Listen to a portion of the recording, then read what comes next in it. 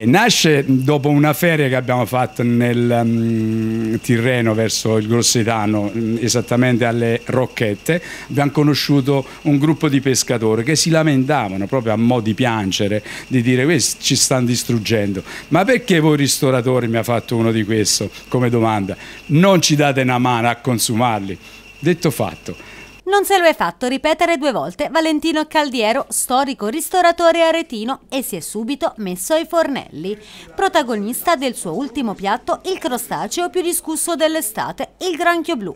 Do per scontato il fatto che è buono perché mangia solo ostriche, cozze, vongole e i granchiettini più piccoli, quindi se non è saporito questo è l'abitante più temuto dei nostri mari, arrivato dagli Stati Uniti nell'acqua di stiva delle navi cargo e diventato ben presto infestante, nemico numero uno dei pescatori, particolarmente invasivo, per nutrirsi distrugge tutto quello che trova, dalle vongole ai pesci. È un assassino del mare, ci sta portando via tutte le materie.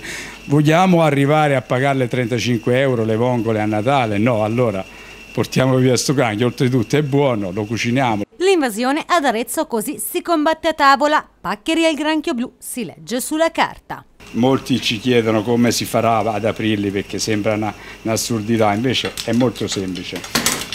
La linguettina tipo Coca-Cola, una signora mi ha detto ieri, che ha la visione, e si apre.